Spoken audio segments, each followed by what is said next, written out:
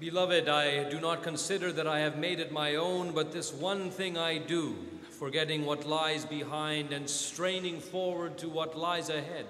I press on toward the goal for the prize of the heavenly call of God in Christ Jesus.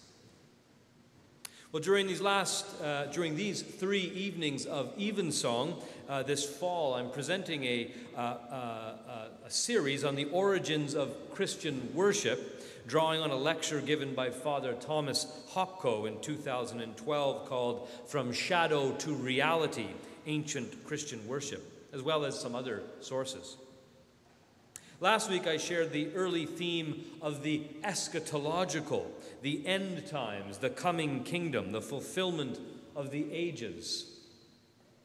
Christianity has a future orientation, the now but not yet, a future realization and fulfillment that awaits us. This evening, I'm going to speak a little bit about the place of worship, the physical place, the objects.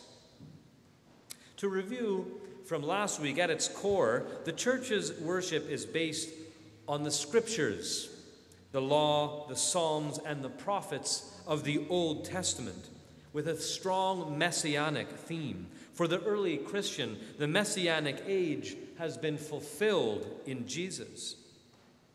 The scriptures for the early Christian, what we would call the Old Testament, were just that a testament to a prefiguration of Christ. And worship was, continue, was con- considered to be a continuation of the worship of Israel in this new age this new creation. It would really be impossible to understand the way Christians worship, or indeed any of the New Testament texts, without understanding that it is all rooted in the Old Covenant, the Old Testament, and is considered uh, the very fulfillment, the flowering of these roots. So let's now move into the idea of place in worship. Well, much like Christianity's Christianity itself, following its Jewish lineage, the Hebrew rites and forms of worship also grew out of and drew on its own prehistory of agricultural deities and sacrifice systems. The first Yahweh feasts were agricultural and cosmic, such as the uh, uh, Tu B'Shevat and Purim followed by connecting feasts with the great acts of God in history, such as Hanukkah, which is the victory that God won uh, for the Maccabees over the Syrian army of Antiochus. Uh, Epiphanes in 165 BC. And of course, the great Pascha, Pesach, the great Passover. We also hear in Exodus, for example, of the tabernacle as a place. Here, God was understood to be present in a special, mysterious way to his people. And the tabernacle's construction is outlined in great detail in the scriptures as a kind of portable tent like structure. And much like the old pagan systems, this was where thought was thought to dwell in a special way and was carried around as they wandered uh, as a nomadic people in the wilderness until the creation of Solomon's temple, where rested finally the Ark of the Covenant and the tablets of Moses in Jerusalem in around 960 BC. This site, which current day Jerusalem, also had prehistoric sacred significance and was thought to be the very place where Abraham offered his son Isaac in sacrifice. This place, the temple, became the heart of Judaism. Even when destroyed by the Babylonians and rebuilt, Judaism continued as a Levitical sacrificial system. Thank offerings, praise offerings, peace offerings, forgiveness offerings, purification offerings, atonement offerings, mercy offerings, reconciliation offerings, for example, were all offered. And Christians came to believe that all of these were filled in the one offering Christ's one oblation and sacrifice on the cross, the paschal lamb for the whole world. For the, these Christians, the destruction of the temple is part of the fulfillment of the messianic prophecy. The new age is realized for Christians. The baptized are called to share now in the sacrificial meal of the Eucharist, where Christians continue to receive his given body until he comes again. Let's take a moment to talk a little bit, uh, as an example, of the crucifixion according to John. Now, this in John, it happens on the day of the Passover. And if you can envision for a moment the temple of Jerusalem at Passover, thousands of pilgrims have come to the temple bringing or buying animals to sacrifice. The blood of an animal was thought to contain the life force, and a blood offering was for atonement with God, for the forgiveness of sins. The annual pilgrimage to the temple at the Passover was to make one's annual atoning sacrifice. And in the Torah, the paschal sacrifice, the lamb was not to have any of its bones broken, a pure, unblemished offering. So you can just imagine the scene at the temple thousands of pilgrims having animals slaughtered on the altars by priests.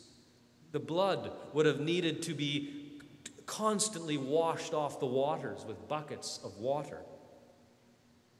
There was a rough plumbing system that carried this commingled blood and water through the streets of the temple and out the wall. Now, note that the crucifixion, of course, happens just outside the wall, just outside the temple. So imagine the backdrop on Good Friday behind the cross during the Passover feast, and the river of water and blood cascading down the temple wall from the temple plumbing. Here's the text of John just after Jesus has given up his spirit. Since it was the day of preparation, the Jews did not want the bodies left on the cross during the Sabbath, especially because that Sabbath was a day of great solemnity. So they asked Pilate to have the legs of the crucified men broken and the bodies removed. Then the soldiers came and broke the legs of the first and of the other who had been crucified with him. But when they came to Jesus and saw that he was already dead, they did not break his legs. Instead, one of the soldiers pierced his side with a spear, and at once blood and water came out. These things occurred so that the scripture might be fulfilled none of his bones will be broken. So surely you can see the parallel. The spear in Jesus' side, this commingled blood and water, uh, just like the wall behind it, represents the blood of God, the life force of God, commingled with the water of creation, flowing out his side, like the temple. Jesus is now the paschal lamb, the Passover, with no broken bones. The scripture has been fulfilled.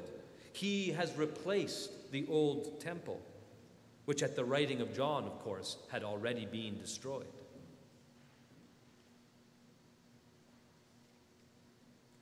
With the temple destroyed, the new Jerusalem of the Christian is now nowhere on earth. It's the Jerusalem which is above, the new Jerusalem that's coming as the bride at the end, as we read in the book of Revelation. I saw the holy city, the new Jerusalem, coming down out of heaven from God, prepared as a bride adorned for her husband.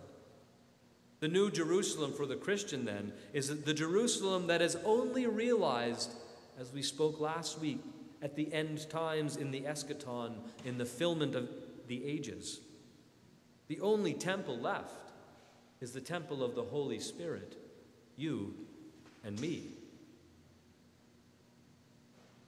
For some, such as 4th century Gregory of Nyssa, pilgrimage to any holy location is absurd because there cannot be any holy places. The earth is where Christ was crucified until we and so we wait until his coming again. What is holy, however, is the Christian Christians make places holy because God lives in this people of God who participate in the kingdom that is to come, which is what we do on the eighth day every week. We call upon and create and taste the new creation at this heavenly banquet of the Eucharist. The Eucharistic Supper is not simply a memorial of what happened in the past, it's a memorial of what is happening now in the risen Christ and will come at the end of the ages. And so, wherever the people of God are gathered to do just that, that is where holiness is. As we noted last week, Christ is worshiped everywhere in spirit and in truth. And we, the baptized, are his body on earth. So Christian worship takes place where the Christians are. The church, the body of Christ, is the living temple. And each individual member and the church as a whole, built on the apostles and the prophets, Christ the cornerstone. So the temple is where this community is the community of believers.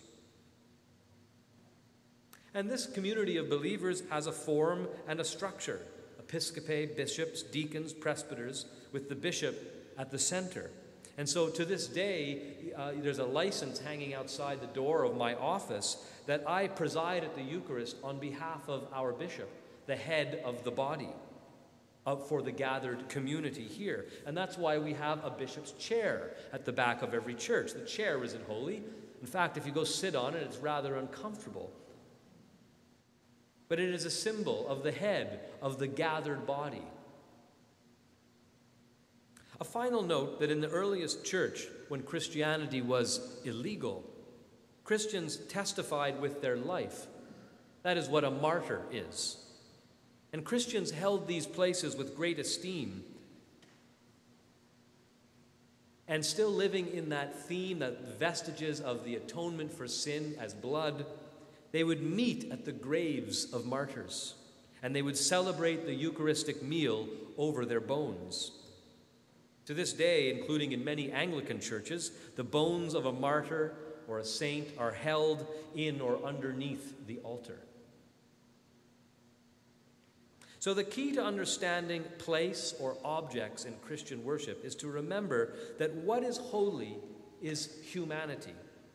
We make things and places holy when we gather and we wait for his coming again. Beloved, I do not consider that I have made it my own, but this is one thing I do, forgetting what lies behind and straining forward to what lies ahead. I press on toward the goal for the prize of the heavenly call of God in Christ Jesus, as we heard from Paul.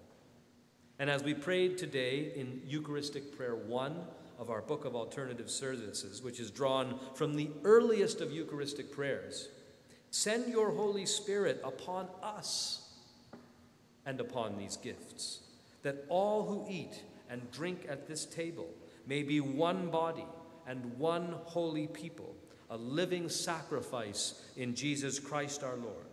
Through Christ, with Christ, and in Christ, in the unity of the Holy Spirit, all glory is yours, Almighty Father, now and forever. Amen.